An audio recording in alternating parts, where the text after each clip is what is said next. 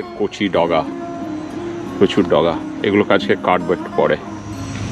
আচ্ছা আমাদের কুমড়ো। জন্য এটা এই উইকেন্ডেই আজকে শনিবার তো, আজকে বিকেলের দিকে কেটে নেব। ঘরোয়া রান্না আজকে একটু দেখাচ্ছি। কমেন্টসে এসছিল যে একটু ঘরোয়া রান্না যেটা আমি করি আর কি, সেটা দেখাবার জন্য। তো আমি যেটা করছি আজকে সেটা হচ্ছে খুব সাদা মাটা একটা মাশরুমের তরকারি। প্রবাসী আরও একটা পর্বে স্বাগত নিউ জার্সি, আমাদের রান্নাঘর থেকে। আজকে আমরা বিশেষ করে আপনাদের দেখাবো যে ঘরোয়াভাবে আমরা কি খাই। তো সেটার ইনচার্জ হচ্ছে আমার ওয়াইফ আঁখি। ও আজকে দেখাচ্ছে একটা সেরকম রান্না। ধন্যবাদ, সঙ্গে থাকুন, আশা করি ভালো লাগবে। একটু অন্যরকম হবে আজকের এপিসোড। আমি এখানে কতগুলো মাশরুম ইউজ করেছি অ্যান্ড লেফট রেস্টগুলো এখানে রাখা আছে। পরে আবার ইউজ করব অন্য কিছুতে। মাশরুমের এই তরকারিটার সঙ্গে আমি দেবো গ্রিন বিনস আর এই গ্রিন বিনসটা অ্যাকচুয়ালি ফ্রোজেন এটা আমরা, আমি এই যে ইউজ করেছি এটা অর্গানিক হোল গ্রিনস এটাকে ছোট ছোট করে কেটে নিয়েছি। অ্যাকচুয়ালি এই রেসিপিটাতে গ্রিন বিনসের জায়গায় আলু দিলে বেটার হয়। তাতে ভালো লাগে। কিন্তু আমি আলুটাকে একটু সাবস্টিটিউট করে গ্রিন বিনস দিচ্ছি। আর তার সঙ্গে দেব পেঁয়াজ টমেটো আর এই লঙ্কাটা। এটা ওই আমাদের গাছে ভূত ভূত ঝালকিয়া নাকি? ভূত ঝলটি ভূত ঝলটিয়া আচ্ছা ভূত ঝলটিয়া লঙ্কা আর এই টমেটো আর লঙ্কা দুটোই আমাদের গাছের। তো আর মশলার মধ্যে থাকবে আদা রসুন, আমি ক্যানোলা অয়েলে রান্না করছি, তো চেষ্টা করি আর কি একটু কম রাখার। আর দেখতেই পাচ্ছেন খুব কম তেল। আর এবারে আমি একটু গোটা জিরে ফোড়ন দিলাম।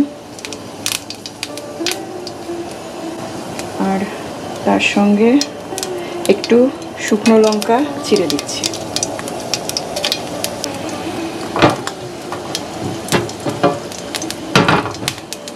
এবার এটাতে আমি পেঁয়াজগুলো দিয়ে দেবো।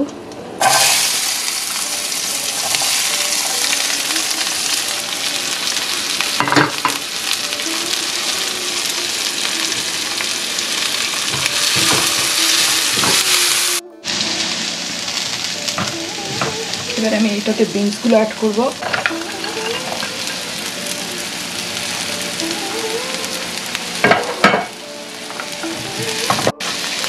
লঙ্কাটা দিয়ে দিলাম। টমেটোটাও দিয়ে দিলাম। একটু হলুদ অ্যাড করছি।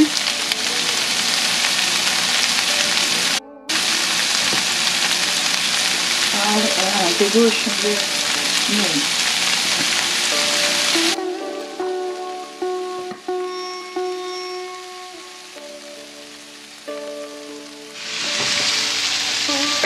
এইবারে আমি একটু মাশরুমগুলো অ্যাড করছি।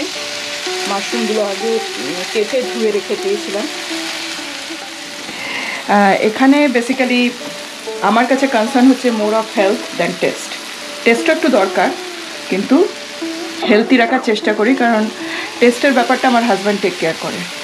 ও এত ভালো ভালো রান্না করে।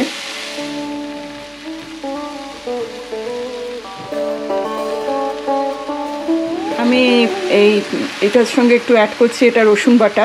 খুব অল্প একটু রসুন বাটা আছে। আর আমি কোনো পেস্ট ইউজ করি না ইউজুয়ালি ফ্রেশ মানে গার্লিক জিঞ্জার দুটো আমি ফ্রেশ ইউজ করার চেষ্টা করি। আর এটা হচ্ছে একটু আদা বাটা।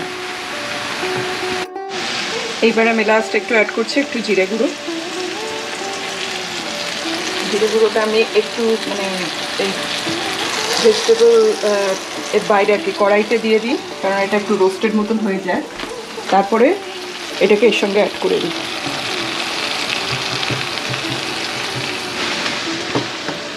অলরেডি জল বেরোতে শুরু করেছে। বিনস আর বিনস পেঁয়াজ অ্যান্ড মাশরুম থেকে। যেহেতু ওই লঙ্কাটা দিয়েছে, ওটা প্রচণ্ড ঝাল হয়, তো সেই জন্য আমি কোনো লঙ্কা গুঁড়ো এখানে অ্যাড করছি না। কারণ ওটা এমনিতেই ঝাল হয়ে যাবে। শুকনো লঙ্কা প্লাস ওই ফুট ভূত ঝালটিয়া লঙ্কার খুব প্রচণ্ড ঝাল হয়। এবার এটা করার পরে আমি এটাকে এখন চাপা দিয়ে দেবো। এটা জল বেরিয়ে জল ছেড়ে যাবে। এটাকে একটু চাপা দিয়ে দিচ্ছি এখন। এদিকে যতক্ষণ রান্নাটা চলছে, আমি ততক্ষণ একটু বাগানটা আপনাদের দেখিয়ে নিয়ে আসি। আজকে আমাদের প্ল্যানও আছে যেখানে লাউ ডগা হয়েছে প্রচুর, কারণ ঠান্ডা পড়ে যাচ্ছে আস্তে আস্তে। সেপ্টেম্বর মাসে প্রায় শেষে শেষই এসে গেছি। কোন দিন ঝুপ করে বরফ পড়ে সব গাছগুলো মরে যাবে। সেই জন্য একটু লাউ ডগা কেটে রাখব।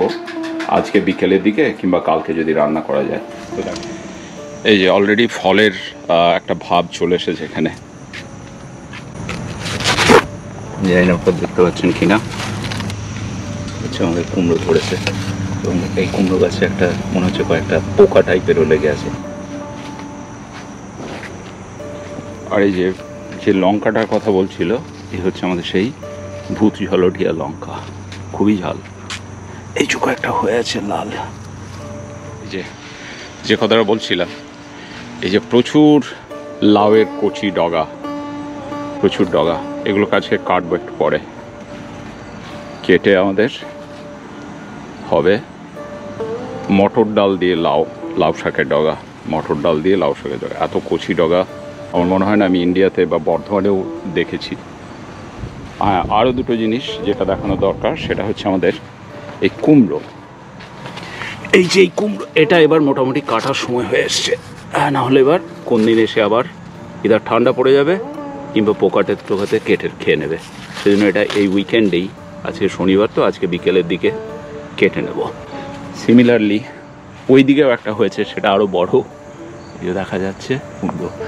আর কুমড়ো শাকও কাটার ইচ্ছে আছে। কুমড়ো ডগাও দারুণ। ফ্রেশ কিন্তু এবার কুমড়ো গাছটা খুব একটা ভালো হয়নি। আমরা আগের দিন কতগুলো লাউ ডগা কেটে বন্ধু বান্ধবদেরকে দিয়েওছি, কিন্তু এখনও প্রচুর আছে। তো যে কথাটা বলছিলাম আর কি, যে কোনো দিন হয়তো ঝুপ করে ঠান্ডা পড়ে যেতে পারে। তো এখন আমি আবার ফেরত যাচ্ছি আমাদের কিচেনে যেখানে আখি রান্না করছে। মানে রান্নার গন্ধ পাচ্ছি আমি এখান থেকেই। যদিও ভেজিটেবল মাশরুমের তরকারি, কিন্তু ভালোই গন্ধ বেরোচ্ছে। গিয়ে দেখি।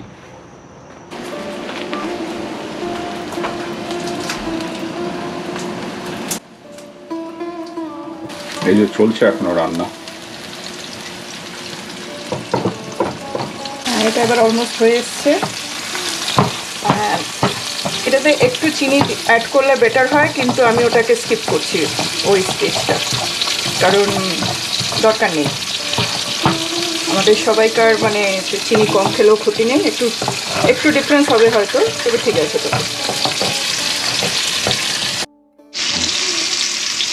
এবারে আমি এটাতে যেটা দেব, সেটা হচ্ছে একটু ঘি অ্যাড করব। আমরা নর্মালি এখানে আমি বাড়ির করা ঘি ইউজ করি অথবা বাগাবাড়ি স্পেশাল এই ঘিটা ইউজ করা হয়।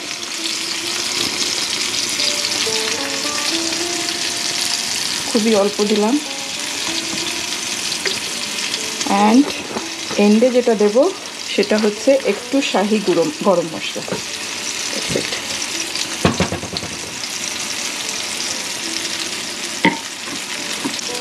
এটা ডান এটা এমনি ভাত ভাতের সাথে ভাত ডাল, তার সাথে বা রুটির সঙ্গে পরোটার সঙ্গে খুব ভালো লাগবে খেতে।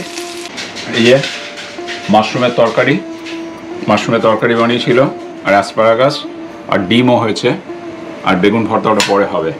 তো আমি এখন নেই। রুটি, মাশরুমের তরকারি, আর অ্যাসপারাগাস